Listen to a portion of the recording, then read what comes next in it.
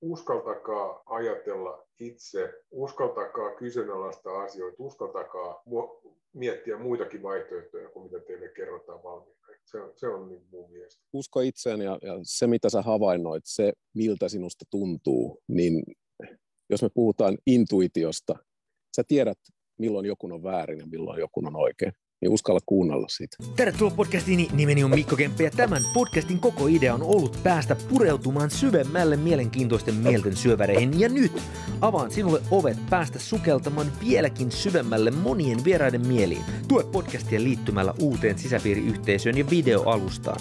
Sisäpiiristä löytyy bonusmateriaalia ja jaksoja, joita pääset heti liittyessäsi katsomaan. Sisäpiiriin kuuluu oma Telegram-chat ja paljon muuta. Linkki löytyy alapuolelta. Tervetuloa mukaan aloitetaan. Jees, Kempo podcastissa tällä kertaa vieraana Thomas Viren ja Aleksander Jalo. Oikein paljon tervetuloa ihan ensimmäiseksi. Morjes, morjes. Kiitos, kiitos. Joo, ja Thomas onkin jo metsässä hetkinen. Mitä sieltä aloit sauhuttelemaan? En, en ole ihan varma, ne jotka Täh. näkee videolta, niin jotain, jotain esoteerista tapahtuu heti alkuun. Mutta teillä on siis äh, jäävuori viikonloppu uusi äh, seminaari tulossa. Aiheena esoterian maailma. Järjestetään siis ensimmäinen viiva 12.6.2022 Hotel Ranta puistossa Vuosaaressa. Ja itse katsoin tätä aihelistaa, niin kuulostaapa kyllä erittäin mielenkiintoiselta, eli aiheena esoteerinen kulta, englantilaisen mittajärjestelmän mysteerit, Pythogorea ja Platonin mysteerikoulut, kaupunkikaavoituksen symboliikka, esoteerista Nikola Tesla ja paljon muuta mielenkiintoista. Niin kumpi haluaisi äh, aloittaa ensin kertoa vähän, että ehkä, ehkä voisi jotain pientä tiiseriä paljastaa, että mitä on luvassa. No joo, tota, ihan pian korjaus. En ole varma sanoitko ensimmäinen kuudetta. Se on 11 kuudetta. Ah, sori, joo, 11 12 joo, joo, totta. Joo, muuten tulee aika pitkä seminaari, jos ka- kaksi viikkoa. Joo, täytyy, täytyy täältä savumerkkiä keskeltä näköjään lähteä sitten paikoille. Oh. Öö, joo, kyllä tota, on aika mielenkiintoiseksi pakattu tuo koko viikonloppu, että et sellaiset aiheet, hyvin vaikea lähteä niin kuin suoraan mitään tiisereitä tässä heittämään, mutta mut mä voin kertoa niin kuin siitä, miten mä oon rakentanut tätä näin omaa luentosarjaa.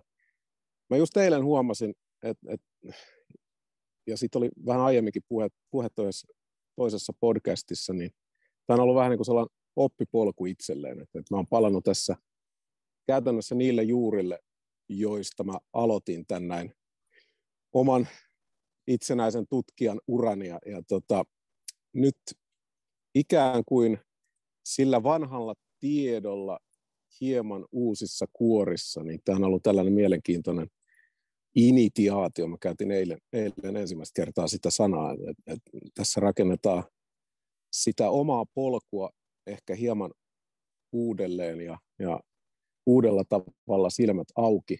Ja sitten mikä parasta niin on se, että, että pääsee sen oman polun esittämällä niin tuottamaan mielenkiintoista asiaa, viihdettä, tietoa, taidetta mukaan tulevalle yhteisölle siinä viikonloppuna.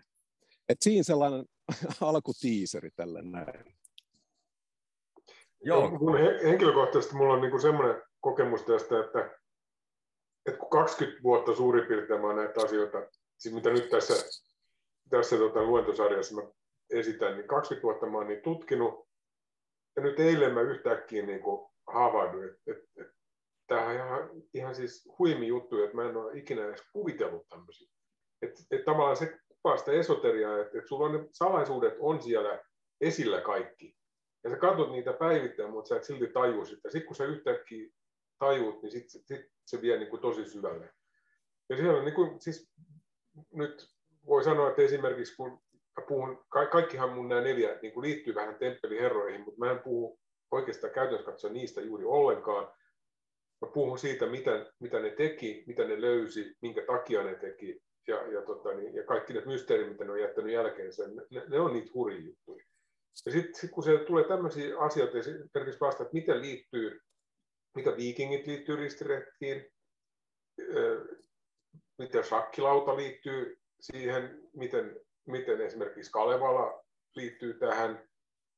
Että tämmöisiä asioita, jotka on niin kuin ihan muualta tempastuja ja yhtäkkiä ne niin kuin istuu siihen, mikä on tullut mun vastaan vaan tässä niin kuin tutkimustyössä, niin, niin ne, ne on niitä, niitä esoteerisia juttuja, mitkä siellä näissä tausto, jutussa on taustalla, mitä mä en ole itsekään edes tajunnut. Ja, ja eikä tarkoituskaan, että kuulija tietää sen tämän jälkeen kaikki, että mä kertoisin totuuden, vaan, vaan että, että mä jätän ikään kuin sen uteliaisuuden ja sitten jokainen löytää sen oman, oman tota, niin, niin kuin herkkunsa sieltä, mikä heitä kiinnostaa. Että, että, että varmasti tulee paljon semmoista juttua, mitä ei ole missään muualla.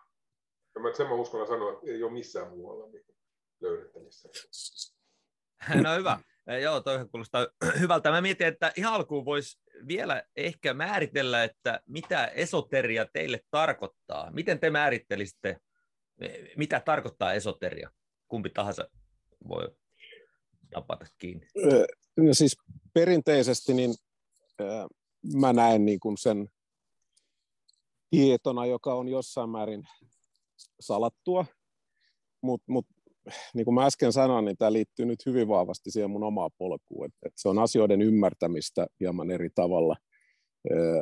Mä oon pohjannut omat, omat luennot aika paljon niin kuin, numeroihin ja symboliikkaa ja, ja niiden toistumiseen. Se, että kuinka suuri voima, voima niissä on. Et, et, no, ehkä me voidaan ajatella tai ehkä mä voisin esittää sen asian tälleen näin, että meillä on olemassa, niin kuin Aleksander äsken sanoi, että meillä on olemassa asioita, jotka on, on nähtävillä, mutta ne voi silti olla, niissä voi olla piilotettu sanoma.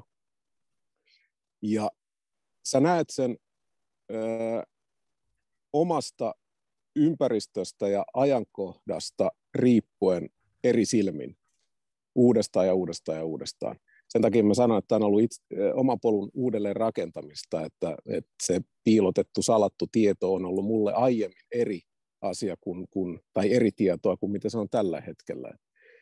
Et, eh, ehkä mä en osaa antaa niinku sellaista jämäkkää vastausta siitä, mitä, mä, mitä esoteria mulle tarkoittaa. Se on, se on aika, aika suuri konsepti mulle. Tuossa meidän mainosvideolla, niin, niin tota, siihen voisi laittaa varmaan linkin niin, Tuumastakin tosi makeen videon. Siinä, siinä se oikeastaan määritellään, että, että, että, että kun mysteerikoulut, siis muinaiset mysteerikoulut, niin, niin ne ei ne paljastanut niin kuin jäsenilleen salaisuuksia, vaan ne opetti että itse löytämään ne, ne tota, niin, salaisuudet ja se, mitä niiden takana on. Että, että ei ole olemassa semmoista sisäpiirin salaisuutta, mitä, mitä tota, niin kerrotaan vain sisäpiirille, vaan, vaan, vaan sun pitää itse niin kuin kasvaa ikään kuin etsijäksi ja löytää niitä asioita. Ja sitten ne asiat voi vaikuttaa todella koko maailman kuvaan, että, että, että mitä sieltä tuleekaan taustalta, niin ehkä tämä maailma ei olekaan ihan sitä, mitä, mitä se näyttää. Joo, tuohon, tuohon voisi tarttua. Tässä olisi niin monta herkullista suuntaa, mikä teki sitten mieli lähteä tutkimaan tässä teidän kanssa, mutta mietit, tartun tuohon mysteerikouluihin, niin mitkä on niin kuin teidän mielestä ehkä semmoiset vahvimmat todisteet tai ehkä kuuluisin joku mysteerikoulu, mitä ehkä niin kuin ihan virallisessa historiassa kenties kerrottaisi, niin mitä te vastaisitte tähän? Yksi, yksi kuuluisimpia on Pythagoran mysteerikoulut. Pythagorahan Pythagoras keräsi tämmöistä, tota, niin, siis hän vietti muistaakseni 22 vuotta Egyptissä ja sitten hän vietti, vietti Babyloniassa pitkä aikaa ja sitten vielä Tiibetissä. Hän sai jopa niin kuin, tiibettiläisen nimen, mä muista miten se on, on sillä kielellä, mutta sanskritin kielellä, mutta se oli joonialainen opettaja. Hän vietti sielläkin vuosikausi.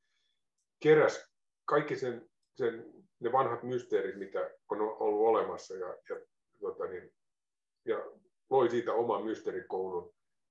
Mutta kun siellä ei saanut kirjoittaa mitään ylös, ja, ja sitten loppujen lopuksi Pythagoraskin murhattiin, niin tota, siis ne, niitä ei ole missään dokumentoituna, mitä hän on opettanut. Meillä on vain niin viitteitä niistä salaisuuksista, mitä se, ja ne ei ole vaan ihan niin kuin Pythagoran lause, vaan siellä on, niin kuin, voi, voi sanoa, että siellä on opetettu paljon syvällisempiä asioita, sellaisia, mitkä voi tulla tänä päivänäkin niin kuin meille ihan, ihan niin kuin uutena löytönä. Että onko minkälaiset Yks... niin kuin todisteet, sorry, sorry vielä keskeltä, onko minkälaiset niin kuin todisteet siitä, että se Pythagoran mysteerikoulu tai viitteet siitä, että se on ollut olemassa, niin minkälaisiin niin kuin lähteisiin, minkälaisista lähteistä niin kuin puhutaan? No siis kyllä niin kuin historiassa on, on paljon, ja niin kuin historiassa ei ole mitään, mikään historiallinen asia ei ole todistettu. Siis. Hmm. Se, ei ole, se ei ole, jos joku on kirjoitettu johonkin, sulla voi olla joku dokumentti jossain, ja, ja niin edespäin, että, että se, semmoisia todisteet voi olla, mutta se, että et, en mun mielestä niin kukaan kyseenalaistanut sitä, etteikö Pythagoran mysteerikoulu olisi ollut olemassa, koska se okay. on mutta se, että mitä, mitä, mitä siellä opetettiin, niin, niin, niin sitä, sitä, ei, sitä ei oikeastaan dokumentu mistään. Niin kuin mä sanoin, kun ei saanut kirjoittaa ylös mitään, niin, niin sitä on jäänyt aika vähän niin kuin konkreettista faktaa. Mutta sitten monet niin kuin tämmöiset nykyaikaiset tavallaan niin kuin mysteerikoulut, niin kuin joku vapaamuurarit tai ru, varsinkin ruusuristiläiset, jotka on niin kuin ihan, ne, ne on niin kuin seurausta temppeliherroista. Vaikka ne itse kieltääkin sen, ainakin vapaamuurarit kieltää olevansa sieltä lähtöisin, mutta mä avaan sitä, sitä juttua pikkusen mun luennoissa, mutta sitten mä kerron myöskin semmoisia juttuja, mitä niin kuin vapaamuurarit ja ruusuristiläiset tulee varmasti niin kuin ihan uutena juttuna. Niin semmoisia juttuja, mitä ne katsoo joka päivä, mutta joka kerta, kun ne istuu omassa temppelissään, ne katsoo niitä joka kerta, mutta ei silti tiedä, mistä ne tulee. Ja ne on, ne on aika, aika yllättäviä juttuja, koska ne liittyy ihan konkreettisesti temppeliritarien niin tarinaan. Anna joku esimerkki vielä tuosta. No esimerkiksi Sakkilauta ja Tähti taivas. Se on niin kuin se, mikä, jos se on näin yhtään kuvaa Vapaamuuren temppelistä, sama koskee ruusuristiläisten temppeliin, ne on ihan samanlaisia. Hmm. Niin sulla on sakkiruutu lattialla ja tähti taivas katossa. Ja ne kertoo itse asiassa temppeliherrojen aarteetsinnästä. Okei, mi- mi- millä tavalla kertoo niin aarteet? Se, se, kuulet sen siellä luennolla. Ah, okei, okay, no niin, selvä. Täytyy tulla jäävuorisemerran. Entä Thomas, onko sulla tota, lisättävää tai ajatuksia tuosta? Öö, niin, mä meinasin äsken vissin keskeyttää, että mä olen kuullut huhuja, että esimerkiksi just tällaiset Pythagoran Platonin johdannaismysteerikoulut, jotka on nykyaikaisia, niin kyllähän se, ne perinteet ovat säilyneet jossain määrin, tai ne on herätetty henki esimerkiksi pyhän, pyhän geometrian ja sen harjoittamisen, piirtämisen ja, ja niiden muotojen ymmärtämisen ja sellaisen ajattelutavan ymmärtämisen myötä, mutta mut eihän me, niin kuin, niin kuin tuossa tuli mainittua jo, niin, niin eihän, eihän me tiedetä, että mitä siellä on opetettu, mutta mut tietyt aspektit siellä on, siellä on säilynyt. Ja pyhä geometria on yksi, yksi sellainen suuri asia, joka on, on hyvin vanhaa ja, ja jota vaalitaan edelleenkin. Että se, se on vahva, tai suuri osa näitä mysteerejä. No, no tästä tekisi mieli kysyä heti Tuomakselta jatkokysymys, että onko tämmöinen sitten pyhä geometria näkyvillä jollain lailla kaupunkikaavoituksen symboliikassa esimerkiksi, tai liittyykö se siihen, tai arkkitehtuuriin ylipäätään? Niin siis tässä on joku sellainen asia. Ensinnäkin täytyy sanoa, että tämä kun on kolmas seminaari, mikä me järjestetään, niin me ollaan hyvin vähän suunniteltu aina sitä, että mistä aiheesta kukakin pitää luentoja. Ja sitten me ollaan huomattu jo kahden aiemman, aiemman seminaarin myötä, että, että meillä on mennyt luennot sille, että ne tukevat aika hyvin toisia. Ja musta tuntuu, että tässäkin esoterian maailman seminaarissa tulee tapahtumaan ihan samoin. Että, että mä tulen näyttämään hyvin paljon esimerkkejä siitä, että miten tällainen pyhä geometria tai symboliikka niin toistuu edelleenkin kaupunkikaavoituksessa ja kuinka tärkeässä roolissa se on ollut. Ja, ja sitten mä uskon, että Aleksander ja saattaa olla, että muutkin luennoitsijat avaavat vähän enemmän, että mitä, mitä siellä taustalla on. Mutta mut just se, että meillä on olemassa tiettyjä perinteitä, joita me jostakin syystä haluamme edelleenkin pitää arvossa, kuten esimerkiksi se, että me rakennetaan tiettyjä selkeästi vaalittuja symboleita ihan suoraan kaupunkeihin, ihan suoraan käytännössä katujen kanssa, rakennusten sijoittelun kanssa, etäisyyksien kanssa, tietyillä suhdeluvuilla. Ja nämä on sellaisia, joita ei niin kuin pääse karkuun sanomalla, että ne on vaikka sattumaa. Ne luvut ja ne suhteet ovat olemassa siellä, ne on ihan selkeästi johdettavissa tiettyihin muinaisiin perinteisiin ja, ja sillä selvä. Se mitä se on, onko se, ja kun puhutaan niin sanotusti e, esille e, laitetusta piilotetusta tiedosta, hidden in plain sight, niin antaako se symboliikka sellaisenaan jonkin voiman, että mikä siellä on takana. Sitä mä en pysty avaamaan.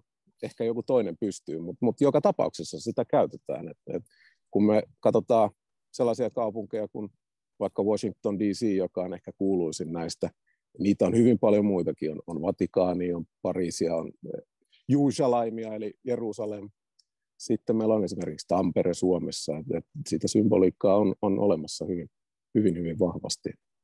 No, mä voisin tähän jatkokysymyksenä, mä oon kuullut kans, että joku olisi teorisoinut, että Suomessakin jopa jotkut kirkot olisi niin kuin jonkun tietyn välimatkan etäisyyksille rakennettu, ja sitten tietenkin tulee mieleen niin kuin pyramidit, mistä me tehtiin eh, myös, tai sivuttiin yhdessä jaksossa, mikä me tehtiin, mä linkkaan senkin tuohon tota, totta kai tekstiosioon teille, jos pyramidit kiinnostaa, niin Thomas kerroit mielenkiintoisia asioita siitä, mutta näetkö sä, että, että niin kun, onko, se, onko sitä vaikeaa miettiä kuitenkin, kun sä viittasit tuossa, että se ei voisi kenties olla niin kun sattumaa, että tarkoitatko sä, että jotkut niin kun, että mistä se tieto tulisi, että onko se niin kuin jotain tämmöistä universaalia symboliikkaa, joka sattumalta niin sanotusti toistuu, mikä ei ole sattumaa, vai että, että se on niin kuin, jos jotkut tahot tieten tahtoin haluaisi niin kuin piilottaa tai jollain lailla niin. pyrkiä tuomaan julki jotain symboliikkaa jollain tavalla?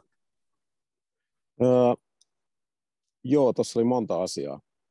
Öö, seminaarissa tulemme kahdesta eri näkökulmasta jopa ehkä tieteellisesti todistamaan sen, että muinaiset kansat useita tuhansia vuosia sitten öö, pystyi, osasi ja ymmärsi meidän maapallon geodeettiset ominaisuudet se, että minkä kokonen ja minkä muotoinen meidän maapallo on. Ja se on osittain suhdeluvuissa ja symboliikkana rakennettu sisään rakennuksiin sekä sitten meidän mittajärjestelmä. Tämä tullaan käymään läpi tuolla noin. Ja mä uskon, että osittain nämä tiedot on haluttu säilyttää ja niitä on sitten toistettu vuosisata, vuosisatojen saatteessa aina, aina meidän aikaamme asti. Ehkä se on välillä hukkunut se tieto, että minkä takia tiettyjä asioita tehdään. Ehkä ei, mä en sitä tiedä, mutta joka tapauksessa, tapauksessa se on onnistuttu säilyttämään tähän asti. Ja, mitä tulee noihin kirkkoihin, niin ne on, Jukka Nieminen Suomesta teki, en nyt muista vuotta, mutta hän, hän teki suuren työn siinä, että hän kartoitti kirkkoja ympäri Suomea ja huomasi niissä sellaisen ihmeellisen kaavan, että, että ne muodostivat sellaisen verkoston, missä kirkot oli noin 33 kilometrin päässä toisistaan. Ja, ja tota, ei kaikki kirkot, mutta siellä oli tiettyjä, tiettyjä kirkkoja, jotka noudatti tätä näin. Ja ö, se ei ole siinä määrin ehkä niinkään merkittävää. On olemassa paljon tällaisia leilinjoja, jossa on tietyin välimatkoin jotakin asioita, mutta, mutta se, että minkä takia sitä on tehty, niin eihän, eihän me tiedetä, että et, et, miksi just sellainen lukumäärä. Ja itse asiassa mä tuon tuon ensimmäisessä mun luennossa, en, en avaa sitä asiaa sen enempää, koska mä toivon, että Jukka on joku päivä meidän kanssa luennoimassa ja saa sitten itse purkaa sen, mutta mä mainitsen sen asian ja, ja sehän johdatti minut tällaiselle Indiana Jones ristiretkelle aikanaan. Tämä näin, kun mä kiinnostuin tästä näin, että kirkot Suomessa on rakennettu tällä tavoin siitä syystä, että ne on rakennettu vanhojen pakanapaikkojen päälle. Eli se on haluttu niin kuin, tuhota se vanha pakanakulttuuri ja sen takia ne on niillä paikoilla, missä ne on. Eli siellä on huomattavasti jotain vanhempaa sen 3,3,3 takana. Ja mä löysin yhden äh, muinaisen munkkikappelin yhtään munapirtistä käyttämällä tätä näin. Ihan, ihan Google Earth ja, ja sitten aloin piirtää kehiä, niin, niin siitä retkestä mä tuun kertomaan tuossa noin ensimmäisessä luennossa. Et, et, sillä saa oikeasti tehtyä jotain, mikä on ihan käsittämätöntä. Että sä piirtelet kehiä Google Earthillä, sä katot, missä vanha, vanhaa, kolme vanhaa kirkkoa, missä niiden, niiden kehät risteää, ja sitten sä menet sinne ja sitten sä löydät jotain muinaista sieltä. Ah, okei, okay. no niin, tuohon kuulostaa mielenkiintoiselta. Joo, siis itse asiassa teillä on kolmas äh, puhuja tässä Sami Nuora, ja hänellä aiheena Sampo ja kirjan kansi ainakin yhtenä aiheena, niin Sa- Samin kanssa tehtiin kans yksi jakso, linkkaan senkin tähän myös, niin siinä Sami kertoi tuosta historiasta kans, mikä itsekin tuli uutena ideana, että olisi tehty juuri näin, että olisi ollut joku tämmöinen totemipaalu ja sitten pikkuhiljaa olisi viety se totemipaalu kirkon sisälle ja sitten, sitten sieltä saa vaan käy niin kuin palvomassa sitä totemipaalua pakanallisesti kirkon sisällä ja jne, ja sitten se koko totemipaalu olisi otettu sieltä pois ja sitten jää, jäänyt mitään muuta jäljelle enää kuin kirkko, mutta ne, jotka kiinnostuu tästä, niin mä laitan sen Sami jakso siinä Sami mielenkiintoisella tavalla kans toi tota ideaa, ideaa julki, mutta mä en voi olla tarttumatta tuohon, että kun sä sanoit, että, että silloin joskus eh, näistä näkis, että, tai sä pystyisit jopa tieteellisesti todistamaan, että eh, kauan sitten ihmiset olisi tiennyt, että mikä on maapallon muoto, niin tulee väistämättä mieleen, että, että mihin tuloksen kenties sä jätät tämän niille, jotka tulee seminaariin, mutta että oliko, oliko tota, kyseessä sitten litteämaa vai, vai pallo vai minkä muotoinen pallo, minkä, miten, miten nämä tota, ennen aikaa oli sitten todistanut tämän maapallon muodon, niin mihin, mihin lopputulokseen he oli sen maapallon muodon kanssa päätynyt? Ihan siihen minkä NASA on vuodesta 72 satelliittien avulla mitannut, että, että hyvinkin okay. tarkasti. Ja, ja se, on, se on itse asiassa on niin kuin, noissa rakennuksissa tulee ilmi se, että on tiedetty tasan tarkkaa se, että, että, että maa, maapallolla on se muoto, että se on litistynyt navoilta. Eli me mm. emme ole niin kuin täysin pyöreä sfääri, vaan pieni pullistuma päivän, tasa, päivän tasa-ajalla pieni, pieni litistymä sitten navoille, mikä tekee siitä, että näin parallellisti ja, ja sitten meridiaanit, niin niillä on niiden astepituudet riippuen siitä, että millä leveysasteella ollaan, niin yhden, yhden asteen pituus varjoi tietyllä tavalla. Ja niin uskomattomalta kuin se kuulostaa, niin tämä on tiedetty ja pystytty rakentamaan merkittäviä rakennelmia, jotka on vastannut juuri sitä pituuspiirin asteen pituutta sillä leveyspiirillä, mihin se rakennus on rakennettu. Ja nämä suhteet on ö, esimerkiksi katedraaleissa niin sanottuna paikallisena pyhänä kubittina, eli mittaasteikkona, ja täysin tieteellisesti todistettavissa. Tuo muuten, siis tämä, tämä on, että tässä mennään kaikkein pisimmälle siinä, että puhutaan samoista asioista. Mä kerron että ihan samasta asiasta, mutta täysin eri lähteestä ja täysin eri menetelmällä. Ja, ja, ja, tota, ja, ja siis tämä, kun mä puhun englantilaisen mit, mittajärjestelmän mysteeristä, niin se liittyy siihen, mutta mut, mulla tuli sellainen oivallus, minkä mä yhtäkkiä niin kun tajusin siitä, siitä löydöstä, oli, oli se, että, että siitä pystyy myöskin kertomaan, miten vanha se tieto on. Eli miten kaukaa historiasta se tieto tulee. Ja se, sekin on ihan puhdasta matematiikkaa, mutta mut, mut, mut se on siis, ne on ihan mielettömiä juttuja. Siis mä, mä, mä olen todella innoissani sit. Ja, tämäkin liittyy temppeliherroihin. Siis että, koko, koko tämä kuvio, ja nämä ge- geometriset kuviot, niin että jos ajattelee niin nykypäivän tämmöisenä rationaalisena ajatteluna, tämmöisenä niin kuin puhutaan, puhutaan tota, niin, niin kuin tämmöisestä materiaalisesta ajattelusta, niin eihän me voida käsittää, että joku geometria voisi vaikuttaa konkreettisesti mihinkään. Mutta mut on olemassa yksi esimerkki, missä pystytään ihan insinööritieteellä osoittamaan, että, että geometria toimii todellakin ihan konkreettisesti tässä maailmassa, ja se on, se on kultainen leikkaus. Ja kultaisella leikkauksella, mä en nyt puhu siitä tuossa meidän seminaarissa, mulla on yksi semmoinen pyramidiluento tuolla, tuolla ja sitten joo, mulla on kaksi luentoa itse asiassa netissä ilmaisia luentoja, mistä, mistä mä oon puhunut samasta asiasta, mutta et, et jos, jos esimerkiksi äänistudio rakennetaan kultaisen leikkauksen suhteessa, niin se vaimentaa sen, sen tota, niin aallon sen tilan sisällä paljon tehokkaammin kuin yksikään, yksikään niin kuin eristyselementti. Ja se on vain geometria, ei mitään muuta. Ja, ja, ja se osoittaa sen, että geometrialla on fyysinen vaikutus tässä, tässä tuota, materiaalisessa maailmassa. Ja, se, mä veikkaan, sen enempää pystymättä todistamaan, miten, miten esimerkiksi nämä kaupunkigeometrian muodot vaikuttaa, mutta mut mä uskallan tuon kultaisen leikkauksen perusteella väittää, että sillä on joku konkreettinen merkitys, mitä sillä haetaan. Ja ne, mm. jotka ne on rakentanut, ei välttämättä itse edes tiedä sitä. Koska tämä on just kysymys siitä esoteriasta, että, että, että sä tiedät, että tässä on jotain, mutta sä et tiedä miksi. Ja se on se tavallaan se suuri mysteeri, mitä sä yrität sitten niin kuin itse omassa elämässäsi löytää.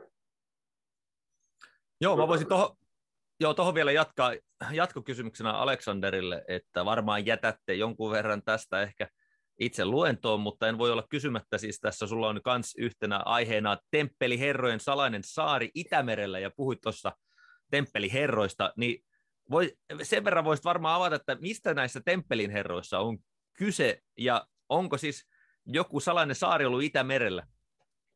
No se ei, ei nykyisin ole enää kovin salainen, mutta eikä se ollut kyllä itse silloin, silloinkaan, koska se, sillä saarella on, on tota niin, yhtä pitkä historia, kuin, siis ihan siis tämmöinen si, selkeä sivilisaatiohistoria, kun on, on tota niin, niin kuin Sumerien historiallinen aika. Et se on todella pitkä. Ja, ja mm. tota niin, mutta siellä se asutusta on siis jääkaudesta lähtien, että se ei ole, mutta mut se, että siellä on niin kuin konkreettisesti esimerkiksi löytyy historialliset jäljet, jotka on lähtöisin jostain Lähi-idästä, eli mahdollisesti Mesopotamiasta. Ja mä, mulla on muutamia sellaisia kuvia, missä, missä niin väistämättä tulee mieleen Mesopotamia niiden lähteenä, mutta, mutta tota, joka tapauksessa, että et, et se on todella mystinen saari. Mä en vielä kerro sitä, mutta jos katsoo meidän mainosvideon, niin, niin siitä sen näkee kyllä, jos niin vähän tarkempi silmä. Mutta mut se, että, että se kyllä siellä selviää, mikä se saari on, ja se, se on sen arvoinen tota, niin, kohde, että siitä kannattaa puhua, koska siihen on myös kätketty sitten sitä, sitä mikä on kaikkien silmien edessä, mutta sä et näe sitä, että sä tiedä, mitä sä etit. No entä temppeliherroja? Siis, mi- mihin tässä viitataan niin kuin temppeliherroilla? No temppeliherrat on, tota, niin, siis sellainen yleinen harhakuvitelma on, että temppeliherrat olisi ristiretkiläisiä mutta itse asiassa ne ei ole. Sitten myöhemmin ne osallistu sitten tota, niin Jerusalemissa niin kuin sotilaallisiin toimiin, mutta se oli vain 50 prosenttia temppeliherroista. Ja sekin tehtiin vain poliittisista syistä. Et, et se todellinen temppeliherran koko se merkitys, tarkoitus, koko se historia, niin, niin siihen liittyy ristiretket silleen, että ristiretket mahdollisti sen, mitä ne teki. Ja sitten herää kysymys, että oliko se todellinen syy ristiretkille vai ei. Että sitäkin voi miettiä. Mä kerron vähän siitä taustasta, että mitä, mitä porukkaa siellä oli. Mutta mut se, että et, et itse temppeliherrat ei ollut ristiretkäisiä. Mm. Joo, no teillä on kyllä todella paljon mielenkiintoisia aiheita. Sanoit, voitaisiin palata hetkeksi vielä tuohon noihin mysteerikouluihin. Sanoitte, että Pythagora – Pythagoran mysterikoulut on semmoinen asia, mikä monet tunnistaa ja kai niin kuin ihan hyväksytty ajatus. Niin miten sitten Platon? Platonhan on niin kuin aika merkittävä hahmo ja henkilö tässä niin kuin filosofisessa kehityksessä, voisiko sanoa näin, niin kuin länsimaisessa, niin oliko Platonilla kans sitten joku mysteerikoulu? No ei oikeastaan, siis Platon on enemmänkin tuonut julki sitä salasta tietoa, mikä, mikä Kreikassa on, koska siis esimerkiksi Atlantis taruhan ei ole Platonin kirjoitti, tai hän kirjoitti sen, mutta se ei ole niin kuin hänen, hänen tota niin, niin kuin esiin tuoma, vaan, vaan Solon niminen tota niin, hahmo, joka on niin kuin hyvin, hyvin merkittävässä roolissa niin kuin Kreikassa, niin hän vietti pitkän aikaa Egyptissä. Hän, hänelle kerrottiin Atlantis-tarina, jonka sitten Solon, onko Platon siis 200 vuotta myöhemmin kirjoitti siis suullisesta perinnöstä. Että se, se mitä, niin kuin, mitä paljon siellä yksityiskohtaisia taustalla, niin kukaan ei tiedä, koska se kulki vain suullisena perinnön, kunnes Platon sen kirjoitti. Et, ja Platon, puhutaan niin kuin esimerkiksi tämmöisiä Platonin geometrisista, englanniksi on solids, mutta mä en tiedä mikä se nyt olisi suomeksi, geometrisista niin kuin esimerkiksi kuutio ja dodekaedron ja niin edespäin. Ne on, ne on tämmöiset matemaattiset absoluuttiset muodot, niin, niin niitä kutsutaan Platonin kappaleeksi. Mutta itse asiassa ne ei ole Platonin luomia, vaan Platon senkin kirjas ylös, joka käsittääkseni on itse asiassa Pythagoran tota niin, ikään kuin tietämystä. Että... No mä voisin tässä, Toma, onko Tomaksella joku kommentti, sano vaan. Säännölliset monitahokkaat. Niin säännölliset monitahokkaat, joo. joo. Niin, siis tulee vielä näistä, tota, näistä mysteerikoulusta sen verran mieleen, että haluan teiltä molemmilta kysyä mielellään mielipidettä. Juteltiin Sami Nuoran kanssa, niin kuin tuossa viittasi vähän aikaa sitten, yhdessä jaksossa myös siitä ideasta, että kenties näihin mysteerikouluihin olisi aikoinaan liittynyt esimerkiksi jonkunlaiset psykedeelit, ja että mä en muista tarkkaan, mutta olisiko ollut Sami myös, että olisi löytänyt jotain todisteita esimerkiksi joitain vanhoja kuppeja tai jotain, mistä olisi löytynyt erilaisia yhdisteitä, niin olisi mielenkiintoista tietää teidän mielipide tähän, ja mä oon myös kuullut semmoisen jonkun teorian esimerkiksi, että kenties ihan tähän näihin uskontojen muodostumiseenkin voisi, ja kaikkein hengellisyyteen olisi aikoinaan, ja hengelliseen kirjoitukseen olisi voinut liittyä esimerkiksi eh, jollain lailla psykedeelit ja niiden nauttiminen, ja sitten se, että kenties niitä olisi just jollain lailla salassa joidenkin mysteerikoulujen rituaalien ohessa harjoitettu, niin on, oletteko te törmännyt tämmöisiin ideoihin eh, teidän omalla tutkimusmatkalla, jos olette, niin minkälaisiin ajatuksiin te olette tässä suhteessa päätynyt? Eh, joo, itse asiassa siinä mennään vielä pidemmälle. Eh, sellainen henkilö kuin Terence McKenna esitti aikanaan, että ihmisen kulttuurievoluutio olisi lähtenyt oikeasti mm. käyntiin siitä, että satuttiin nappaamaan oikeita sieniä ja, ja sitten lähti aivan psykedeelliset kalliomaalaukset ja, ja niin poispäin, että taide lähti kehittymään. Ja, ja tota, kyllä henkilökohtaisesti olen hyvin vahvasti sitä mieltä, että meillä on mukana ollut kulttuurievoluutiossa ihan joka vaiheessa niin jotakin substansseja, jotka, jotka on, on vahvasti ollut mukaan shamanismissa ja sitten myöhemmin myöskin ihan vakiintuneissa uskoissa. Et Mesopotamiassa huomattiin torajyvä aikanaan, kun, kun laitumella niin, niin eläimet söi tiettyjä yksi hyvä vehniä ja, ja sitten sit huomattiin, että niiden käyttäytyminen muuttuu, niin sitten löydettiin torajyvä, joka, joka tota, kylläkin on myrkyllinen, mutta saa hetkellisesti sinut sekaisin ja ilmeisesti oli paljon muitakin aineita, mitä siellä pystyttiin ja käytettiin. Ja, ja kyllä sitten on nämä Elyseen mysteerit Kreikassa ja, ja sitten sit kristin uskokin jossain määrin on äh, rakentunut ehkä tälle vanhalle perimälle, mitä tulee. Et, et mä, mä näen niin kuin niiden roolin aivan suhteettoman suurena tuossa. Ja heitä, keitä kiinnostaa, niin kannattaa lukea sellaisen kirjailijan, tutkijan kuin Brian Murareskun kirja. Hän on kirjoittanut, mikäköhän se kirjan nimi, se oli, se oli The Secrets of a Religion with No Name tai joku vastaava sen, sen kirjan nimi, joka käy todella, todella juurta jaksain läpi sekä niitä tieteellisiä löytöjä, että mitä juuri nimenomaan on löytynyt vanhoja, vanhoja tota, merkkejä siitä, että ollaan keitelty yhtä sun toista vanhoilta, vanhoilta pyhiltä paikoilta. Ja, ja se, se, se on aivan ällistyttävä hieno kirja. Mikä sen sukunimi oli? Sen Muraresku. Joo, no niin. Muraresku, joo. Mutta tuossa meidän, meidän tota, myytinkertojien tota, YouTube-kanavalla on tämmöinen sumerisarja, niin siellä vähän niin kuin sivutaan tästä, koska siis raamatun pu, puutarha tai paratiisi tarinassa, niin, niin, niin selkeästi niin kuin juuret on, on sumereissa ja, ja siinä tarina, siis raamatun tarinassa on kielletty hedelmä on, on omena.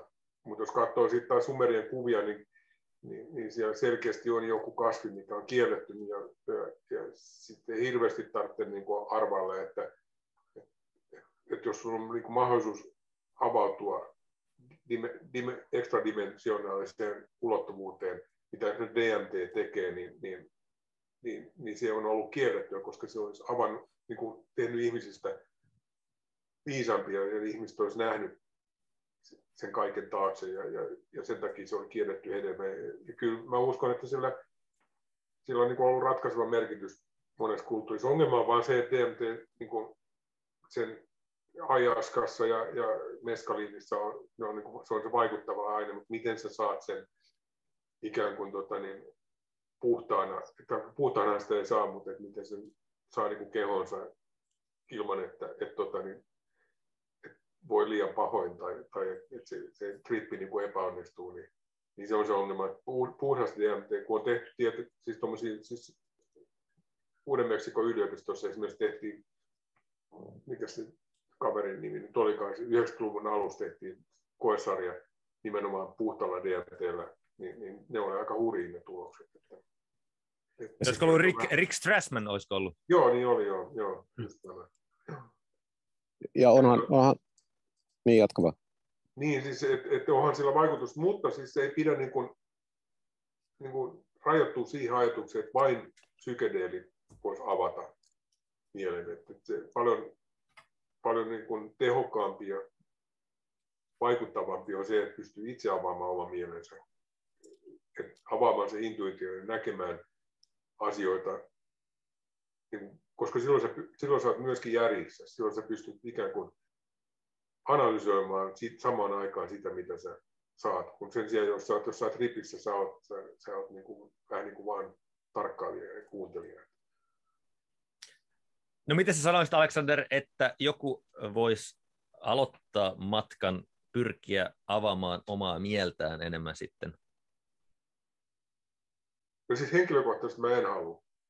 Mä, mä, se, kun on lukenut sen, sen tota, niin, Strassman, vai mikä se nimi olikaan? Joo, Rick Strassman, joo. Joo.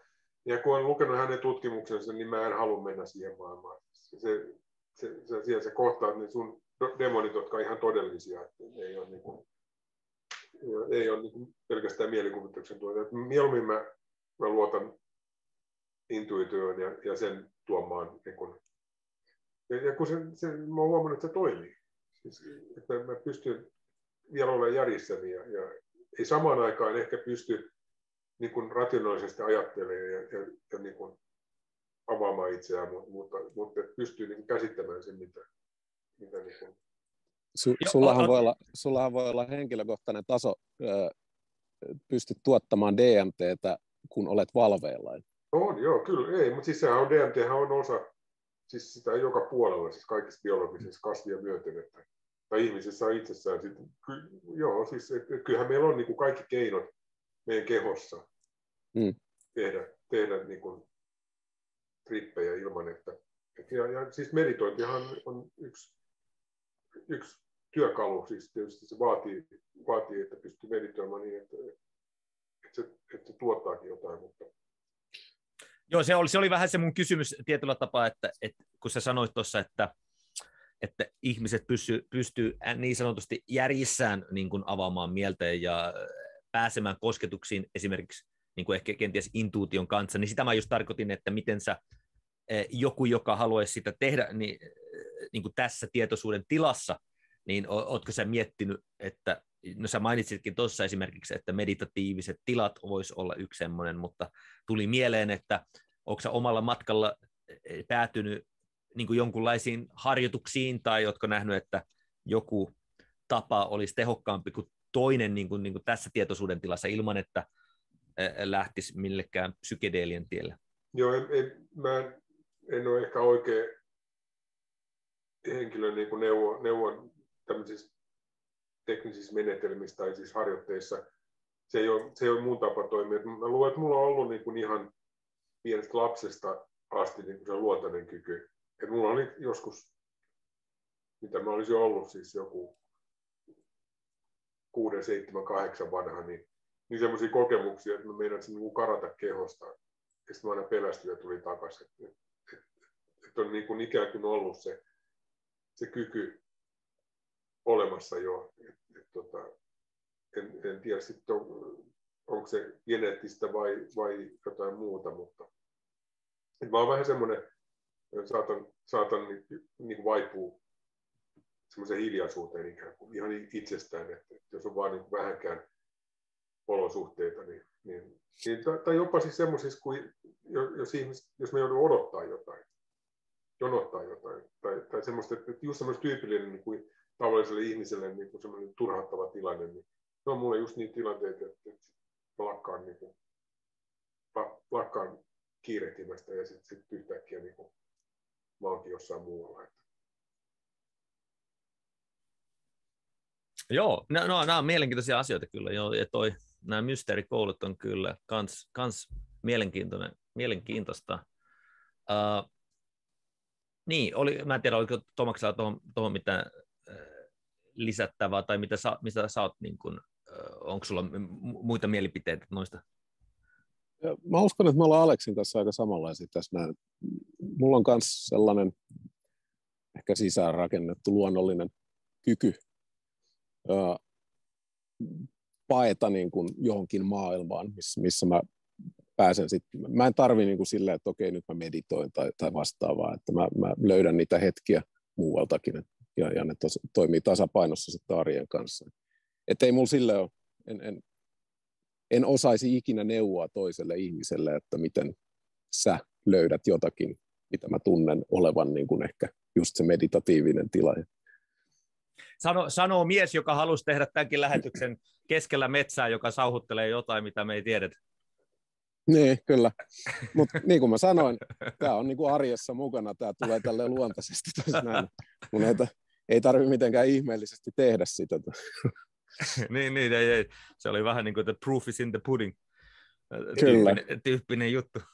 Hei, yhden jutun mä halusin kertoa. Mä, mä oon kertonut vähän sitä tuolla aikanaan semmoisessa Paulin Pakela haastattelussa, mm. että mun viimeinen luontoaihe on esoterinen kulta. Se kertoo itse asiassa paljon muustakin, mutta se liittyy semmoinen, semmoinen tota, mielenkiintoinen juttu mun elämässä, semmoinen niin synkronisiteetti, että, että mulla on tosi hyvä ystävä Jenki, jonka kanssa me skaipataan melkein viikoittain.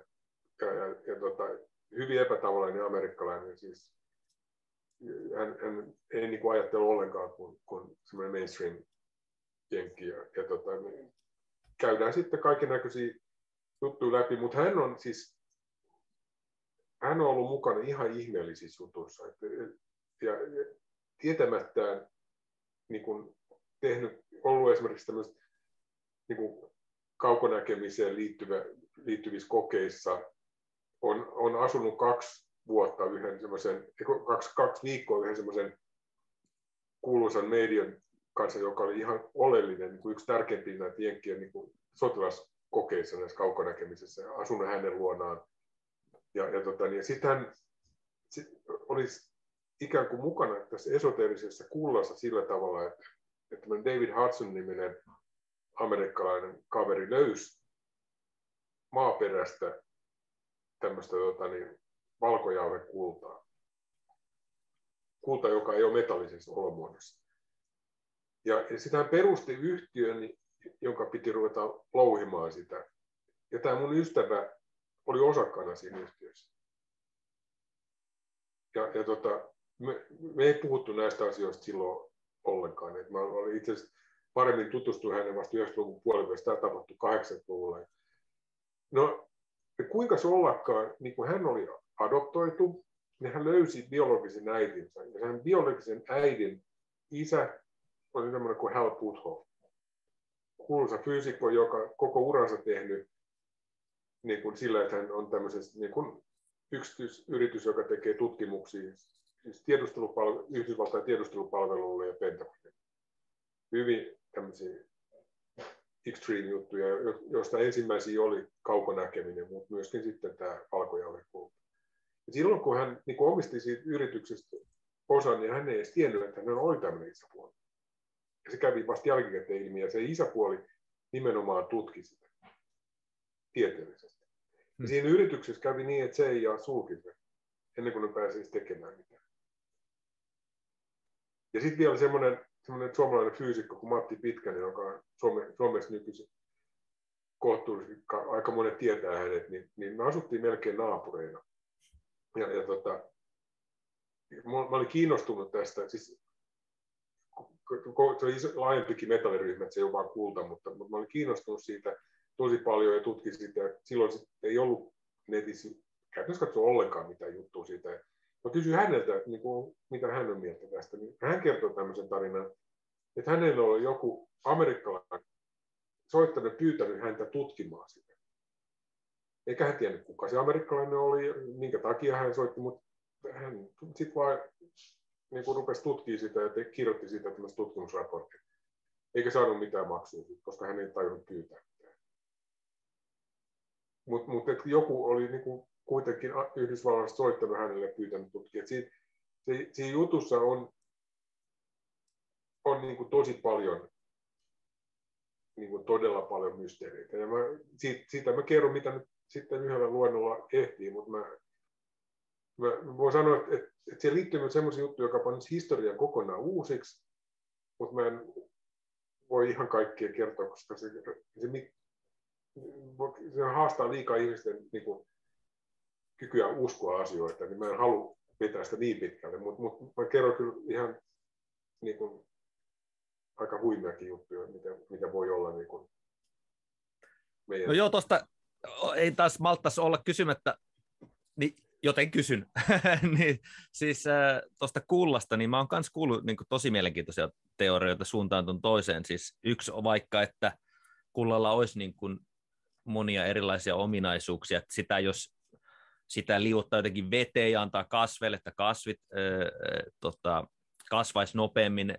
En tiedä, onko tuohon teillä mielipidettä. Ja sitten myös, niin kuin, että Etelä-Afrikassa nimenomaan just on kuullut jotain teorioita, että sieltä olisi niin kuin louhittu eri paikoista kultaa ja että britit olisi sitten jossain vaiheessa ehkä käynyt vähän lainaamassa niitä sieltä, sieltä pois, mutta ja sitten vähän kaikkea siltä väliltä. Sitten mä oon kuullut myös tämmöistä colloidal kultasuihkeesta, mitä jotkut voi niin kuin sisäisesti kenties käyttää, ja että kulta olisi sillä lailla jotenkin vaikuttaisi myös niin kuin meidän ajatteluun, tai että se, niin kuin jos meidän ajatukset jollain lailla toimii magneettisen sähkövarauksen kautta, niin kulta voisi auttaa meidän ajattelussa. Ja sitten on vielä semmoinen teoria, että on kuullut, että joku, jotkut kuninkaat olisi käyttänyt jotain tämmöisiä kultapantoja, että se olisi tarkoittanut, että jollain lailla jonkunlainen värähtely taso olisi ollut helpommin saatavissa vaikka meditaatiossa tai ihan muuten elämässä, jos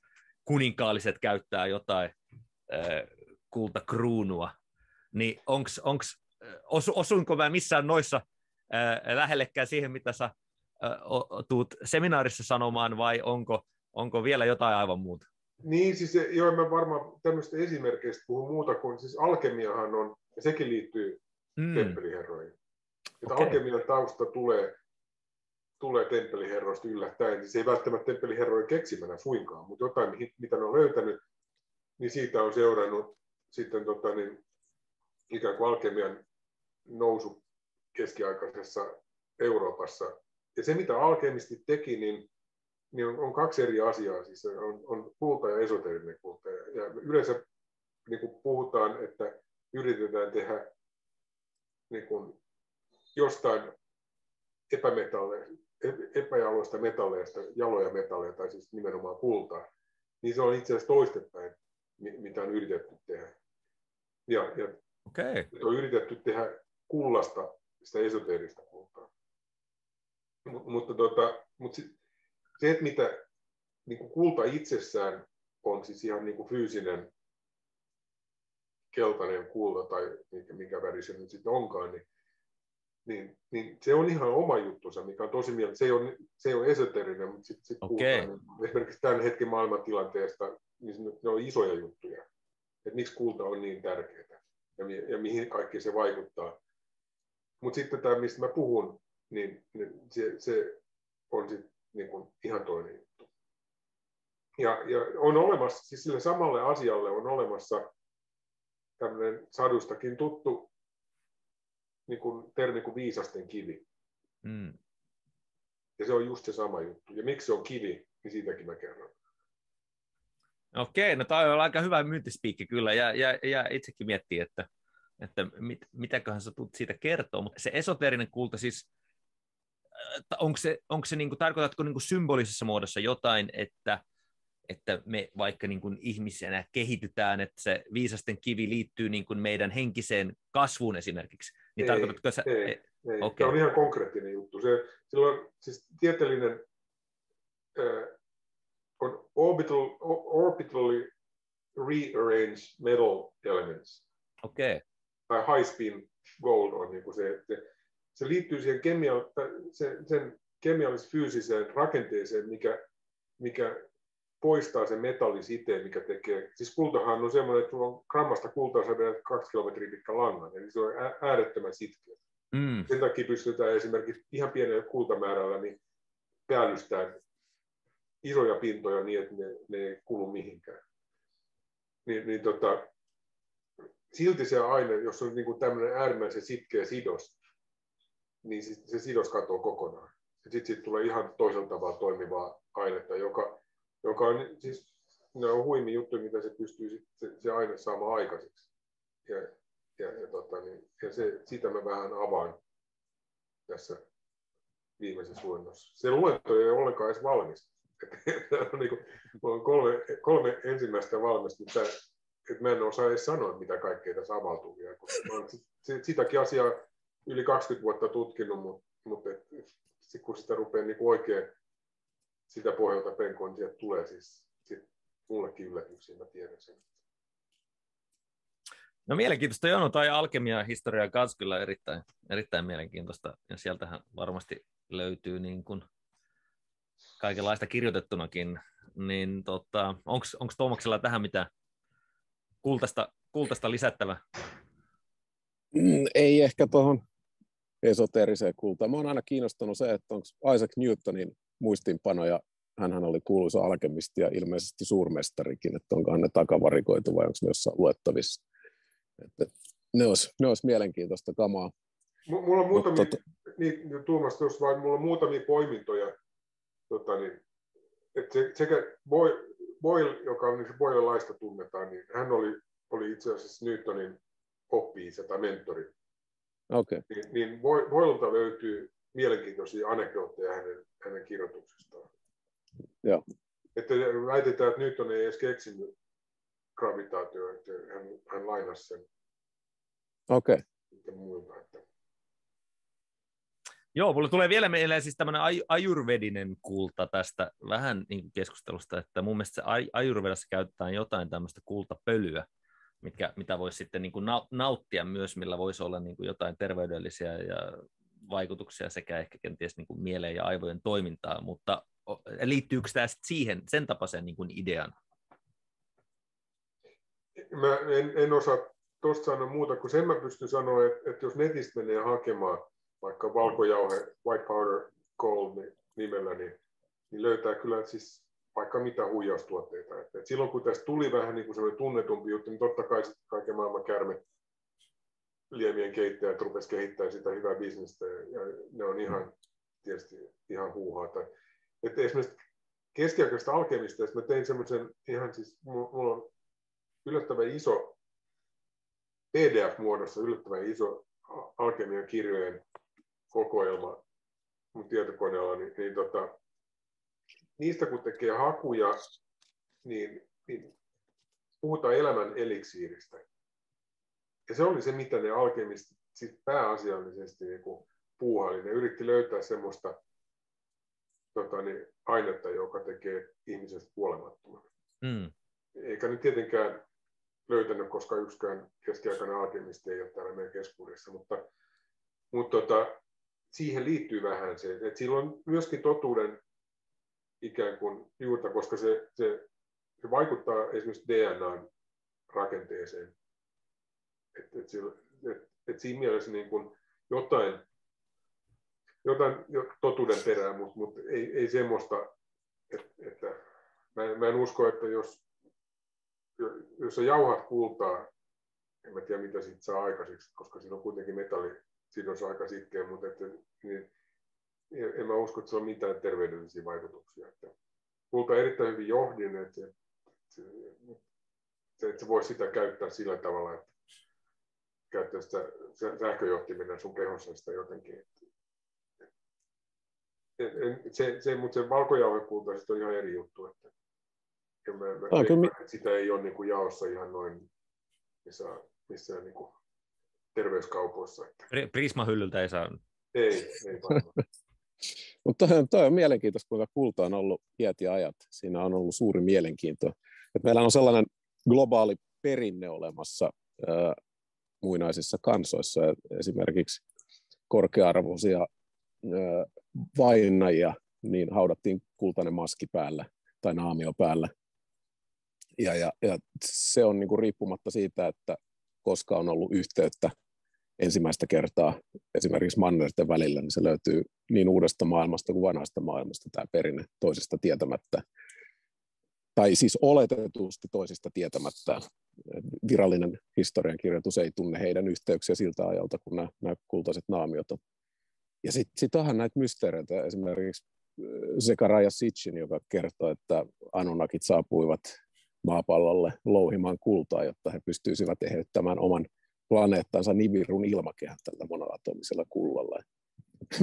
Mistä itse asiassa oli tehty tutkimus tuossa 2000-luvun alkupuolella, että ilmakehä pystytään putsaamaan tota, nanopartikkelimuodossa olevalla kullalla.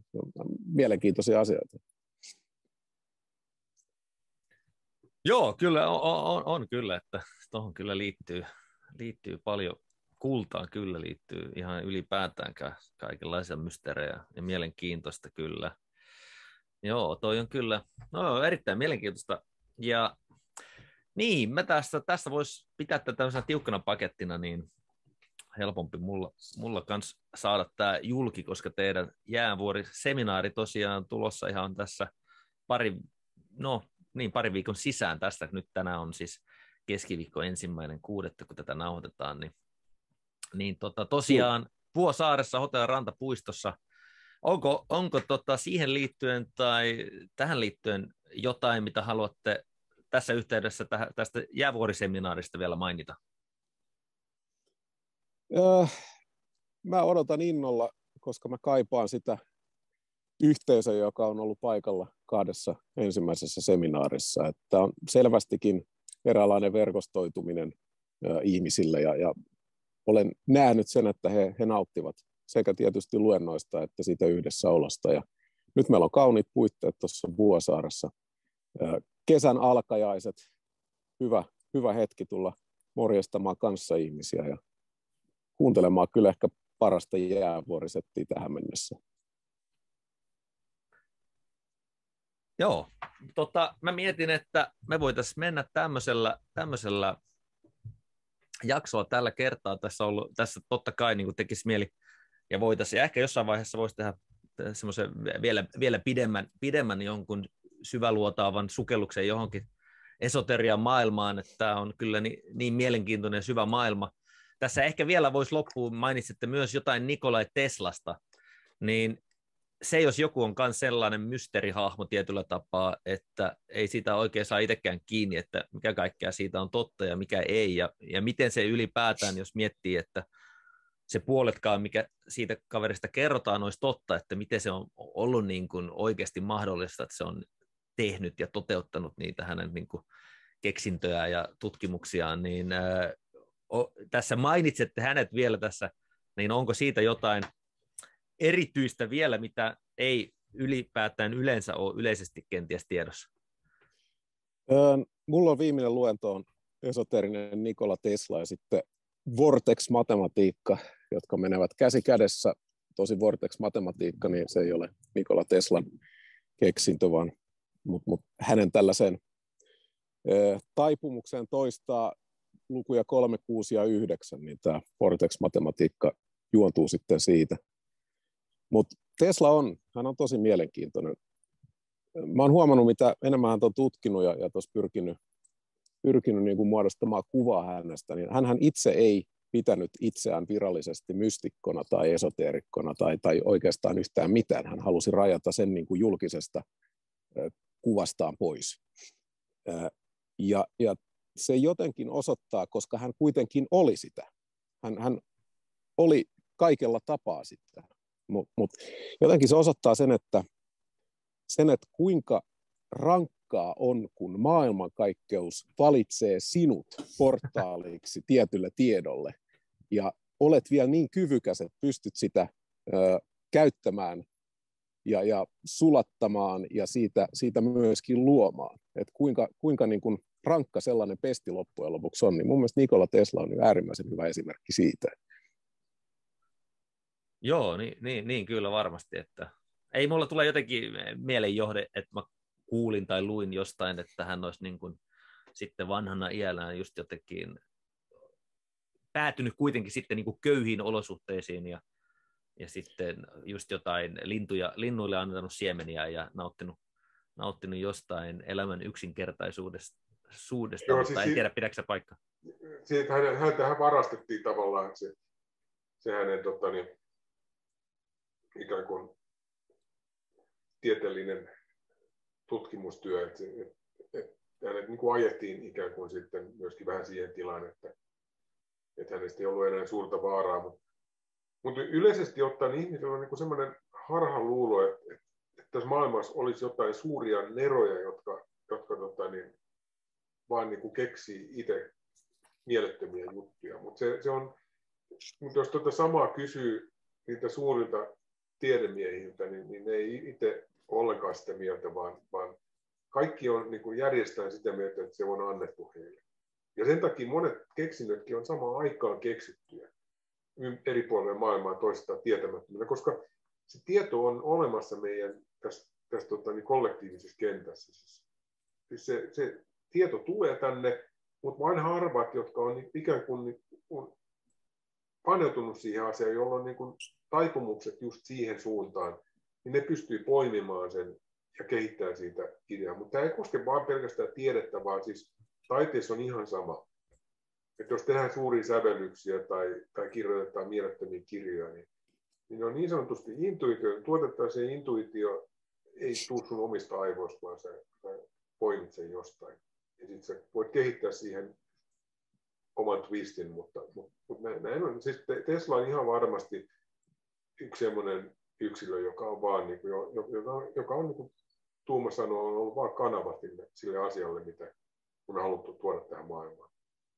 Jota ei sitten koskaan tuotu, koska hän esimerkiksi niin yksi mun mielestä tärkeimpiä keksintöjä, mitä hän teki, hän ei käyttänyt sitä nimeä, mutta siis hän keksi seisovan aallon. Ja, ja, ja, tota, niin, ja, ja se, sillä menetelmällä oltaisiin pystytty luomaan jo niin kuin internet tähän maailmaan, joka ei olisi perustunut mihinkään niin kuin kaapeleihin. Että, et, et, et, mut, mut, ja hän, hän tajusi sen jutun. Hän tajusi, että, että mitä se pystyisi oikeasti tekemään. Mutta mut se, sitä ei koskaan vaan vienyt, pystynyt viemään eteenpäin. Joo, toi on kyllä sit mielenkiintoista. Sitten pääsee vielä syvemmälle just, että mistä, toi, mistä, se, mistä se tieto sitten, tai jos me ajatellaan niin kuin, vähän kai niin kuin Carl Jungin kautta myös, että on tämmöinen uh, collective unconscious, eli tämmöinen jonkunlainen kenttä, missä, missä tämä tieto on meidän, meidän ympärillä tietyllä tapaa, ja sitten joistain meistä tulisi kanavia joillekin tietylle tiedolle, niin että mistä... Suosit... Niin, sano vaan. Suosittelen ensimmäistä jäävuoriseminaaria. Mulla on siellä kaksi luentoa, morfinen kenttä ja morfinen resonanssi, niin ne kertoo juuri tästä näin. Okei, okay, no niin, se oli hyvä plugi vielä vielä, ja ne, ne, on kai, ne on kai ostettavissa vielä myös, ne, eikö, eikö se löydy nettisivuilta? Vi, äh, joo, Vimeossa on, on tota kaikki edellisen, edellisten seminaarien luennot, niin niihin saa noin katseluoikeudet vuokrattua muutamalla eurolla per luento kolmeksi kuukaudeksi, kuukaudesta kolmeksi kuukaudeksi. Joo, no niin jos tykkäätte, no siis tukea, tukea myytin kertojia ja Tomasta ja jäävuoriseminaareja, niin käykää ihmeessä katselijat, kuuntelijat, kehoitan, että käykää ihmeessä tukemassa, eihän siinä, ja se, kuuntelemassa. Se oikeasti, Sano. Siellä on oikeasti kova kamaa, että kyllä se, se mä veikkaan, että, että se on sen, sen arvosta. Että... Joo, ei siis varmaan veikkaa, että se neljä euroa, jos se on, jos se on jotain muutamia euroja, niin ehkä voi jokainen miettiä, että kannattaako investoida siihen suuntaan vai käydä YouTubesta vuokraa joku, joku tota, Hollywoodin tuotanto leffa, että, että mistä, mistä pääsee morfisen kenttään paremmin käsiksi, niin jokainen voi sen arvioida sitten itse. Mutta... Joo, meillä on seminaari, seminaarikohtaisesti on vuokra ollut joku parikymppiä, ja niissä on ollut okay. se, yhdeksän, kahdeksan, yhdeksän luentoa saaneet tuota sillä muutamalla kympillä. Ja mun mielestä mä näin jotain, että sulla oli jotain, niin kuin, että jos joku tiet, jo, halusi jotain tiettyä, tiettyä että ne oli vielä niin kuin pienempi osiin pilkottu kanssa, jos joku halusi. Mun, mun mielestä mä olin Juta, niin... ka, ka, kaksi puoli euroa taisi olla luentoa. Se, siitä 45 minuutin tietopaketista, niin, niin se on aika kohtuullinen korvaus. Niin. Kyllä, kyllä. Mutta mä mietin, että voitaisiin kääntää tämä, tämä tässä vaiheessa. Todella iso kiitos jälleen kerran Tuomas sulle ja Alexander oli hauska tutustua tällä tavalla äh, Zoomin ja podcastin kautta. Niin tota, kiitos kaikille katsojille ja kuuntelijoille. Jos nämä aiheet kiinnostaa enemmän ja kiinnostuitte, niin käykää ihmeessä tsekkaa. Mä laitan totta kai linkin tähän jäävyöryseminaariin tuohon alapuolelle ja linkit äh, näihin edellisiin, edellisiin seminaareihin myös. Ja niin tässä vaiheessa totta kai aina, jos tykkäätte, niin painakaa, muistakaa painaa tykkäysnappia, sekin on yksi tukemisen tapa, ja millä voi podcastia tukea, että jos oikein villiksi heittäydytte, niin käykää laittaa jako jossain sosiaalimediassa ja, ja kertokaa totta kai mielipiteet, mitä te olette näistä asioista mieltä, että itselleni ainakin erittäin mielenkiintoisia aiheita ja näistä, näistä on kyllä mukava, tosi mukava keskustella. Niin, niin ja Tomas taitaa olla itse asiassa Kevin podcastin sisäpiirissäkin, että jos haluaa tulla Tomasta moikkaamaan sisäpiiriin, niin harkitkaa, että tuutte podcastin sisäpiiriin myös. Sillä tavalla voi oikein podcastia tukea myös. Mutta näillä puheilla yleensä aina ihan loppuun kysy, ja kysy tässä molemmilta, että jos tässä ajassa, Tomakselta viimeisessä jaksossakin kysyin, että jos jonkunlainen kehotus tai jos te haluatte jotain mietittävää jättää kaikille podcastin kuuntelijoille, katselijoille, niin minkälaisen kehotuksen tai jonkun inspiraation tai jonkun ajatuksen te haluaisitte jättää podcastin katselijoille, kuuntelijoille?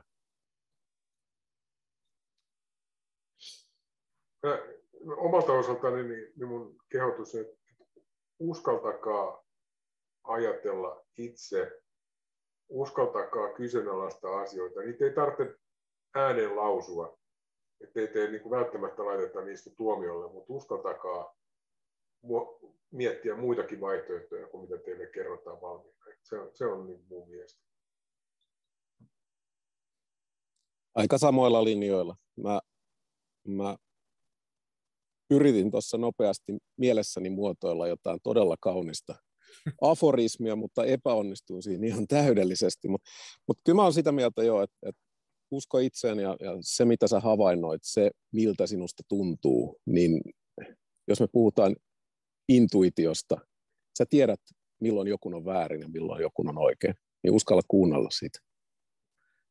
Niin, ja voisi vielä tähän sitten lisätä, että veikkaisin, että jos nämä ajatukset resonoi, niin jäävuoriseminaarista voi olla, että sieltä löytyy vähän niin kuin kanssa ihmisiä, jotka kenties tarkkailee elämää ja maailmaa myös vähän tämmöisestä tietyllä lailla kyseenalaistavasta näkökulmasta ja tutkivasta näkökulmasta avoimin mielin, joten tota, tässä vaiheessa hei, kiitos Thomas ja Alexander teille molemmille ja kiitos kaikille katsojille ja kuuntelijoille. Ei muuta kuin näillä puheilla seuraavaa Kempe Podcastin jaksoa. Hienoa, että olet täällä. Laita kanavani tilaukseen, jos tykkäsit jaksosta, paina yläpeukkua.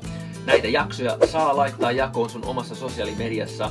Ja totta kai osallistu yhteisön huikeisiin keskusteluihin. Ja nyt sulla on mahdollisuus osallistua myös sisäpiirikeskusteluihin podcastin täysin omalla sisäpiirialustalla. Linkki mukaan löytyy tosta alapuolelta. Tue samalla podcastin toimintaa, varsinkin jos uskot, että tarkastelu ja keskustelu erilaisista näkökulmista, myös haastavistakin aiheista, on sun mielestä tärkeää. Sisäpiirin alustan keskusteluissa mukana myös muita asiantuntijoita sekä jaksojen vieraita. Sisäpiiristä löydät myös paljon bonusmateriaalia sekä oman täysin privaatin suljetun Telegram-chatin. Sisäpiiristä löytyy myös kaikki muut jaksot, myös kaikki ne jaksot, jotka on muilta alustoilta sensuroitu. Lataan sisäpiirin lisää myös jatkuvasti bonusjaksoja, jotka on tarkoitettu vain sisäpiirin yhteisölle. Näissä jaksoissa usein syvennytään joihinkin tiettyihin aiheisiin paljon syvemmälle. Myös, jos haluat katsoa kaikki jaksot aina ensimmäisten joukossa, liity mukaan yhteisöön. Eli ei muuta kuin nähdään sisäpiirissä.